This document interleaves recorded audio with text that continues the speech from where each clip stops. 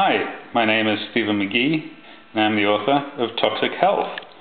I'm here today to look into television remote control units and their effect on human health regarding electromagnetic interference. And to do that, we have a standard AM radio. It's going to be tuned into static on the AM 530 radio band, and uh, the band doesn't really matter because these all broadcast broadband radio waves. So wherever band you're on on the AM radio we'll pick it up as long as there's no radio station there. So you need it tuned into static, which this one is.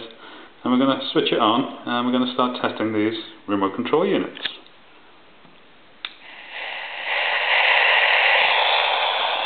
So here's the first one. This is a television remote control. See what it does when you press the button.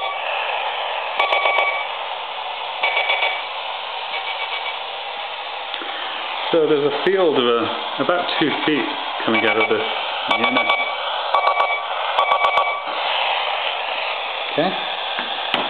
So again, this is another remote control. This is for a DVD player. Let's see what one, what it produces.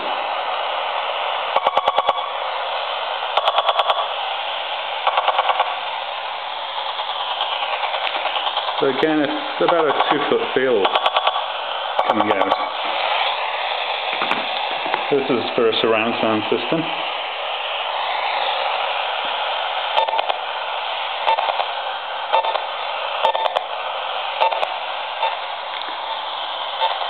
Again, about two feet. This is a video recorder, remote control.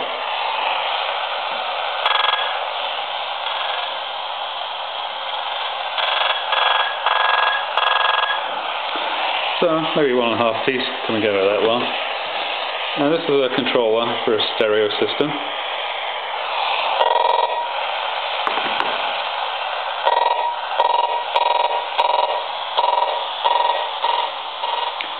This actually has about three feet of EMI coming out of it. And the last one is for a DVD player.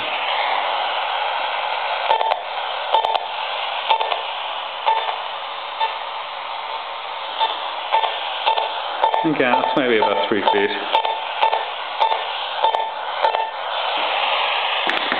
So as you can see, these handheld remote control units do actually produce radio waves that can be easily picked up on an AM radio.